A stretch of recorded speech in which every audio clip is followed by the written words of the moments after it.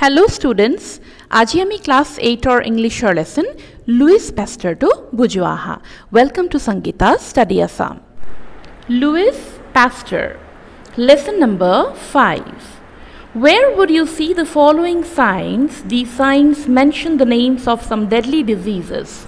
Find the names of the disease and write them in the boxes below. Uh, তোমালোকে দেখিছা যে এই blue colour বক্সটোৰ ভিতৰত আমাক কৈছে যে তলত কিছুমান বেমাৰৰ কাৰক আৰু তাৰ নাম দিয়া হৈছে। এতিয়া তোমালোকক কৈছে যে এই বক্সবিলাকত থকা কথাখিনি পঢ়া আৰু বেমাৰখিনি আইডেণ্টিফাই কৰা।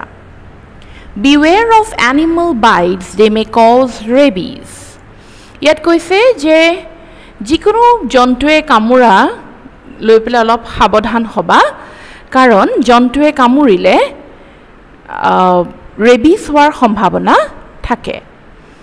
তাৰপিছত দিছে the anopheles mosquito is a carrier of malaria keep food and water covered use repellent sleep under a mosquito net ইয়াত আমাক দিছে যে এনিফেলিছ মস্কিটোৱে যদি কামোৰে তেতিয়া মেলেৰিয়া হ'ব পাৰে। আৰু মেলেৰিয়াৰ পৰা কেনেধৰণে বাচিব পাৰোঁ তাৰ কথাও আমাক দিছে। Keep food and water covered use repellent sleep under a mosquito net এতিয়া আমাক আঁঠুৱা ব্যৱহাৰ কৰিব কৈছে আৰু লগতে মহ খেদক কিছুমান বস্তু ইউজ কৰিব কৈছে আৰু লগতে খোৱা বস্তু বা পানী সদায় ঢাকি ৰাখিবলৈ কৈছে। তাৰপিছত চাওঁ আহা। Prevention is the only cure for AIDS AIDS নামৰ বেমাৰটোৰ একমাত্ৰ মানে কিয়ৰ তাক ঠিক কৰাৰ এটাই উপায় সেইটো হ'ল প্ৰিভেনশ্যন মানুহে সাৱধানতা অৱলম্বন কৰিব লাগিব তেতিয়াহে এইডছৰ পৰা বাচিব পাৰে Measles is a de- deadly disease. It can lead to pneumonia, diarrhea, other life threatening complications. এতিয়া দিছে যে মিজলছ নামৰ এটা ডিজিজ আছে এটা ডেডলি ডিজিজ এটা খুব মাৰাত্মক এটা ৰোগ আৰু এই ৰোগটো হ'লে মানুহৰ পিছলৈ নিমনীয়া হ'ব পাৰে ডায়েৰিয়া হ'ব পাৰে বা অন্য জীৱন ল'ব পৰা কিছুমান কমপ্লিকেশ্যনছ কিছুমান অসুবিধা কিছুমান আহিব পাৰে। Rubella is caused by a virus rubella infection during pregnancy can lead to children born with congenital birth defects as blindness deafness mental retardation congenital heart defects এতিয়া কৈছে ৰুবেলা এনেকুৱা এটা ভাইৰাছ যিটো ভাইৰাছে যদি মানুহক কেতিয়াবা আক্ৰমণ কৰে জীৱনত তেতিয়া কি হয়? বিশেষকৈ মহিলাৰ ক্ষেত্ৰত যদি মহিলাগৰাকী প্ৰেগনেণ্ট হয় গৰ্ভৱতী হয় তেতিয়া তেনেকুৱা মহিলাই যদি প্ৰেগনেঞ্চিৰ অৱস্থাত যদি ৰুবিলা ভাইৰাছটো গাত লয় তেতিয়া তেওঁ জন্ম দিয়া ল'ৰা ছোৱালী হয়তো অন্ধ হৈ জন্ম হ'ব পাৰে নহ'লে কাণেৰে নুশুনা কলা হৈ জন্ম হ'ব পাৰে বা মানসিক অকণমান ৰিটাৰ্ডেশ্যন ন মেণ্টেলি ইমান ষ্টেবল নোহোৱা ল'ৰা ছোৱালী জন্ম দিব পাৰে বা কনজিনেণ্টেল হাৰ্ট ডিজি ডিফেক্ট বা হাৰ্টৰ প্ৰব্লেম হৈও ল'ৰা ছোৱালী জন্ম দিব পাৰে চ' গম পালা তোমালোকে যে কি কি বেমাৰৰ কথা ইয়াত দিছে এক নম্বৰ আমি পালোঁ ৰেবিজ ৰেবিজ কেনেকৈ হয় জীৱ জন্তুৱে কামুৰিলে বিশেষকৈ কুকুৰে কামুৰিলে আমি ৰেবিজ হয় বুলি আমি সমাজত শুনিবলৈ পাওঁ মেলেৰিয়া মেলেৰিয়া কেনেকৈ হয় এনিফেলিছ মস্কিটোৱে যদি কামোৰে তেতিয়া হয় আৰু এইডছৰ প্ৰিভেনশ্যন কি দিছে? এটাই দিছে যে এইডছৰ প্ৰিভেনশ্যনেই হ'ল আচলতে এটা এইডছৰ কিয়ৰ মিজলছৰ ফলত কি কি বেমাৰ হয় বুলি কৈছে? মিজলছৰ ফলত নিমনিয়া ডায়েৰিয়া বা অন্য ধৰণৰ তেনেকুৱা কিছুমান মানুহৰ জীৱন ল'ব পৰা কিছুমান ৰোগ হ'ব পাৰে। আৰু ৰুবেলাৰ ফলত যদি প্ৰেগনেণ্ট ৱুমেনৰ গাত ৰুবেলা ভাইৰাছটো লাগে তেতিয়া সেই মানুহগৰাকীয়ে যিটো সন্তান জন্ম দিব সেই সন্তানটো অন্ধ হৈ জন্ম হ'ব পাৰে বা কাণেৰে নুশুনা বা মেণ্টেলি ৰিটাৰ্ডেড মানসিকভাৱে অকণমান সবল নহয় বা হাৰ্টৰ প্ৰব্লেম লৈও জন্ম হ'ব পাৰে। এইখিনি কথা আমি ফাৰ্ষ্ট পেজটোত লেচনটো গম পালোঁ। এতিয়া লেচনটোলৈ আগবাঢ়ো আহা। Let's read about Louis Pasteur. Louis Pasteur found the cure for rabies, one of the deadliest disease of the 19th and 20th century. এতিয়া ইয়াত দিছে যে বোলা আমি লুইচ পেষ্টাৰৰ বিষয়ে জানো লুইচ পেষ্টাৰ এনেকুৱা এজন চাইণ্টিষ্ট বা এনেকুৱা এজন ব্যক্তি আছিলে যি নাইনটিন চেঞ্চুৰী আৰু টুৱেণ্টিথ চেঞ্চুৰীৰ আটাইতকৈ ডেডলিয়েষ্ট ডিজিজ ৰেবিজৰ ঔষধ উলিয়াইছিল ধৰিব পাৰিছা? এতিয়া আমি এখন ফটো দেখিছোঁ এজন ব্যক্তিৰ এইজন লুইচ পেষ্টাৰ। তেখেতক আমি দেখিছোঁ যে তেখেতে এটা লেবৰেটৰীত কিছু এক্সপেৰিমেণ্ট চলাই আছে কিছু কাম কৰি আছে। এতিয়া লেচনটোলৈ মন দিওঁ আহা। প্ৰথম পেজটো one day A boy called Louis Pasteur was playing with his friends in a boy's small town in France. Suddenly, he saw a man running towards him. এতিয়া লেচনটোৰ আৰম্ভণিতে আমাক লেখকে কৈছে যে এদিনাখনৰ কথা লুইচ পেষ্টাৰ নামৰ এজন ল'ৰাই নিজৰ বন্ধু এবয়ছৰ লগত খেলি আছিলে। ক'ত খেলি আছিলে? Small town in France France দেশৰ এখন সৰু টাউনত খেলি আছিলে। ছাডেনলি হি চ আ মেন ৰানিং টুৱৰ্ডছ হিম ঘপককৈ তেওঁ দেখিলে যে এজন মানুহ তেওঁ পিনে দৌৰি আহিছে। দ্য মেন ৱাজ ফ্ৰাইটেণ্ড আৰু সেই মানুহজন খুব ফ্ৰাইটেণ্ড হৈ আছিলে। ফ্ৰাইটেণ্ড মানে হ'ল খুব ভয়ত আতংকিত হৈ থকা খুব ভয় খোৱা। আৰু মানুহজনক দেখি লুইচ ফেষ্টাৰৰ মনলৈ কথা আহিল যে কি হৈছে আৰু সেই গতিকে তেখেতে মানুহজনক সুধিলে what is the matter Louis আক্সড him. Someone has been bitten by a mad wolf from the mountain. Louis was scared because he understood that the mad wolf was suffering from rabies. এতিয়া হ'ল যে Louis পেষ্টাৰে সেই মানুহজনক সুধিলে যে কি হ'ল আপুনি কিয় এনেকৈ দৌৰি আহিছে তেতিয়া মানুহজনে ক'লে যে someone has been bitten by a mad wolf from the mountains সি পাহাৰটোৰ পৰা বা পৰ্বতটোত থকা এটা পাগল উল্ফে কাৰোবাক কামুৰিলে। Louis was scared because he understood that the mad wolf was suffering from rabies সেই কথা শুনি লুইচৰ খুব ভয় লাগিলে। স্কেয়াৰ্ড মানে হ'ল ভয় খোৱা ভয় লাগিলে। বিকজ হি আণ্ডাৰষ্টুড আণ্ডাৰষ্টুড মানে বুজি পোৱা। লুইছে বুজি পালে ভয় এইটো কাৰণে খালে কাৰণ লুইছে বুজি পালে যে the mad wolf was suffering from rabies যে যিটো পাগল হৈ যোৱা উল্ফে মানুহটোক কামুৰিলে সেই পাগল উল্ফটো ৰেবিজৰ বা ৰেবিজ নামৰ বেমাৰটোৰ চিকাৰ হৈছে। Rabies is a viral disease that causes inflammation of the brain in humans and other mammals এতিয়া দিছে যে ৰেবিজ এনেকুৱা এটা ভাইৰেল ডিজিজ ভাইৰেল ডিজিজ বিয়পি পৰে ঠিক আছে? ডিজিজ মানে হ'ল বেমাৰ যিটোৱে কি কৰে ব্ৰেইনৰ ইনফ্লেমেশ্যন কৰি দিয়ে। ইনফ্লেমেশ্যন কৰি দিয়া মানে ফুলাই দিয়া। ব্ৰেইনৰ কোষবিলাক ফুলাই দিয়ে এই বেমাৰটো হ'লে। আৰু তেতিয়া কি হয় মানুহৰে হওক বা অন্য মেমলছৰে হওক ব্ৰেইনৰ কোষবোৰ ফুলাই দিয়ে। সেই গতিকে সেই মানুহজন বা সেই জন্তুটো পাগল হৈ যোৱা দেখিবলৈ পোৱা যায়। মেমলছ শব্দটো পাইছা হয়নে? মেমলছ মানে কি? মেমল মানে হ'ল এনেকুৱা জন্তু যি কণী নাপাৰে যি পোৱালি দিয়ে। আৰু হিউমেনছ মানেতো জানাই মানুহ। ইনফ্লেমেশ্যন মানে ফুলি যোৱা। ধৰি লোৱা আমাৰ ক'ৰবাত জুয়ে পুৰিলে কি হ'ব? ঢৌ উঠি যাব হয়নে? বা গৰম পানী পৰিলে ফুলি যাব। বা কিবা এটা জেগাত ইনফেকশ্যন হৈছে বিষ হোৱা নিচিনাকৈ ফুলি উঠিব। So' that is inflammation animals with rabies go' mad and die ইয়াত দিছে যে যিবিলাক জন্তুৰ ৰেবিজ হয়। সিহঁতি খুব কম দিনৰ ভিতৰতে পাগল হৈ যায় আৰু তাৰপিছত মৰি থাকে। Human beings get the virus when they are bitten or scratched by animals with rabies আৰু মানুহৰ দেহলৈ এই ৰেবিজ নামৰ ভাইৰাছটো কেনেকৈ আহে এই বাক্যশাৰীৰ জৰিয়তে আমি গম পাম। এতিয়া দেখিছানে যে মানুহৰ দেহলৈ কেনেকৈ ৰেবিজ আহে?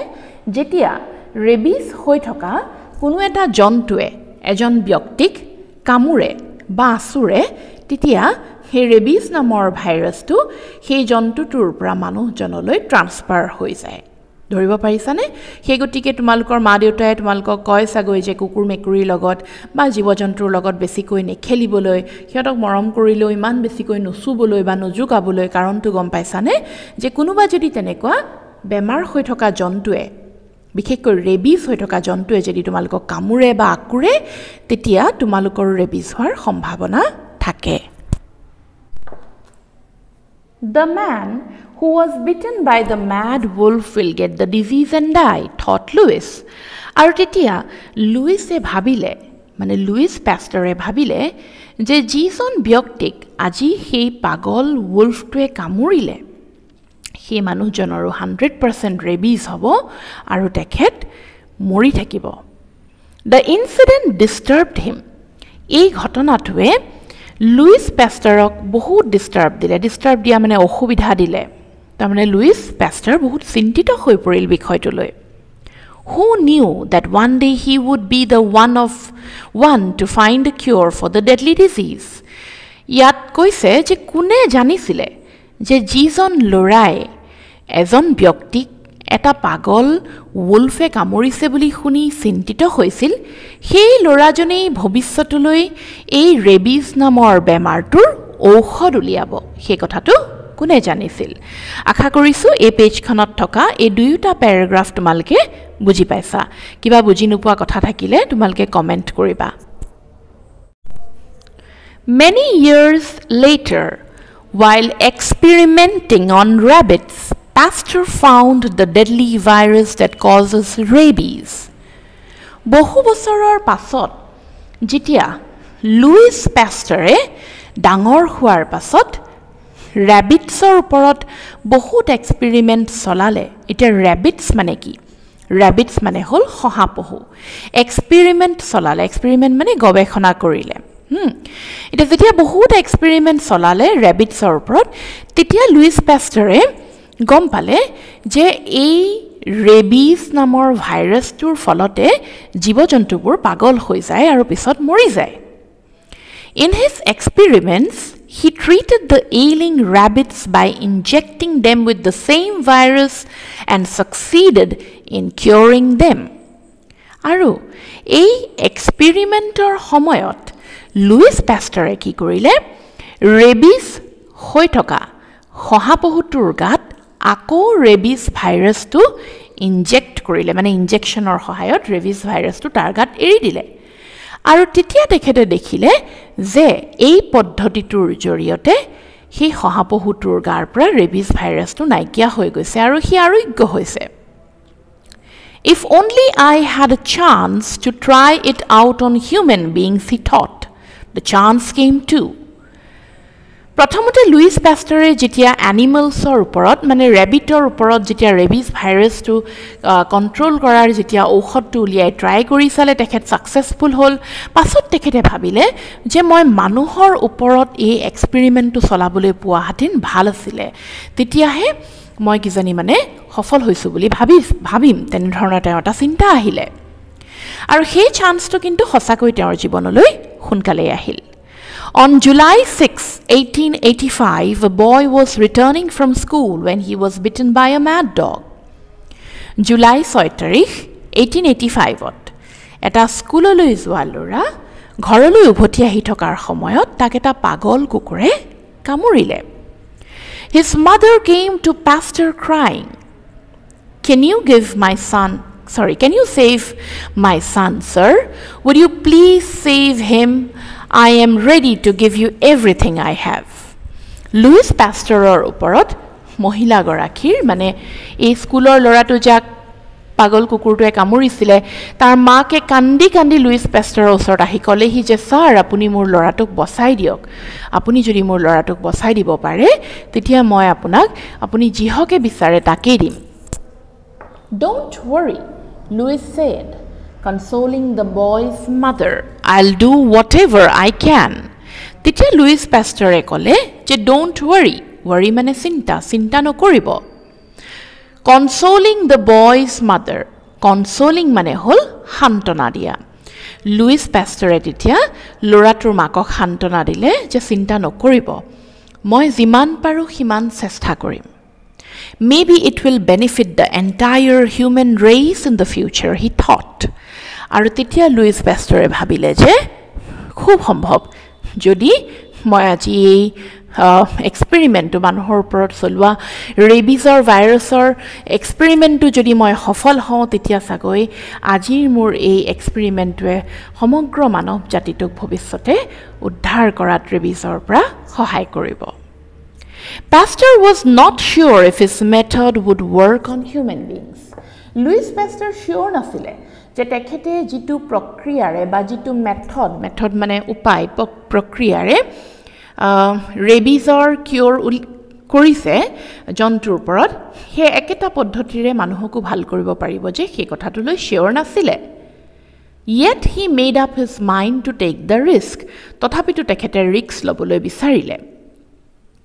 He injected the boy with the virus and kept him under ৱাটছ Louis পেষ্টৰে কি কৰিলে? লুইচ পেষ্টৰে সেই ভাইৰাছটো সেই ৰেবিজ ভাইৰাছটো সেই ৰেবিজ হৈ থকা স্কুলৰ ল'ৰাটোক গাত ইনজেক্ট কৰি দিলে। To his pleasant surprise the boy responded to Pasteur's treatment আচৰিত কথা সেই ল'ৰাটোৰ লাহে লাহে লুইচ পেষ্টাৰৰ ট্ৰিটমেণ্টে কাম কৰিলে। This new method of treatment of rabies made Pasteur famous all over the world আৰু এই নতুন ট্ৰিটমেণ্টটো যিটো ৰেবিজৰ কাৰণে লুইচ পেষ্টাৰে উলিয়ালে এই ট্ৰিটমেণ্টটোৰ জৰিয়তে লুইচ পেষ্টাৰ এদিন বিশ্ববিখ্যাত হৈ পৰিল In 1888, the French government founded the Pasteur Institute in Paris. This institute is dedicated to the study of biology, microorganism, diseases, and vaccines. Louis Pasteur died in 1895. ইয়াত কৈছে যে এইটিন এইটি এইটত French গভৰ্ণমেণ্টে কি ফাউণ্ড কৰিলে French গভৰ্ণমেণ্টে Pasteur institute in Paris found কৰিলে French চৰকাৰে Pasteur institute বুলি এখন ইনষ্টিটিউট আৰম্ভ কৰিলে পেৰিছত আৰু সেইখন লুইচ পেষ্টাৰৰ নামত ডেডিকেট কৰিলে আৰু সেই ইনষ্টিটিউটখনত বায়'লজি মাইক্ৰ' অৰ্গেনিজম আৰু বিভিন্ন ধৰণৰ বেমাৰ আৰু ভেকচিনৰ ওপৰত পঢ়া হয়। Louis Pasteur died in eighteen ninety five আৰু অৱশেষত এই মহান ব্যক্তিজন যি ৰেবিজ নামৰ এটা ভয়ানক ৰোগৰ ঔষধ উলিয়ালে সেই ব্যক্তিজনৰ এইটিন নাইণ্টি ফাইভত মৃত্যু হয়। ষ্টুডেণ্টছ আশা কৰিছোঁ তোমালোকে লুইচ পেষ্টাৰ নামৰ লেচনটো বুজি পালা। কিবা বুজি নোপোৱা কথা থাকিলে মোক কমেণ্ট কৰিবা। যিসকল ছাত্ৰীয়ে এতিয়াও চেনেলটো ছাবস্ক্ৰাইব কৰা নাই তোমালোকে ছাবস্ক্ৰাইব কৰি ল'বা যাতে তোমালোকৰ কৰ্চৰ নতুন নতুন ভিডিঅ'বোৰ চাবলৈ পাই থাকা। আৰু লগতে কমেণ্ট কৰিবা। Thank U